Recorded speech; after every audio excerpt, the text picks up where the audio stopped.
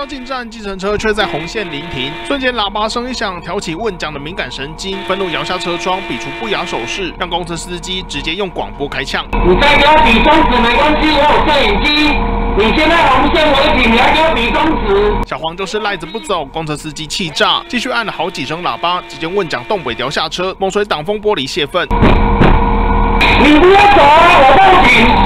我后面的人也要过啊！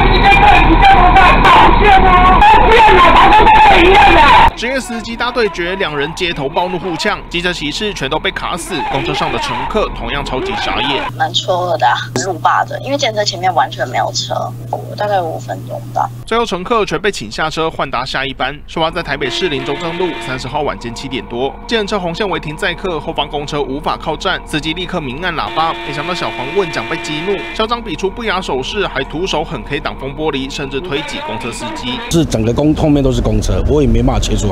就是很暴躁啊，然后就靠我很近，然后就用身体撞，就是在考虑说要不要高拉公安五路这样啊。建车为了载客当路霸，造成交通大打劫。问讲还理智线断裂，做出一连串离谱的举动，最后钱还没赚到，恐怕就先被告上法院。见黄明君、陈冠宇特别报道。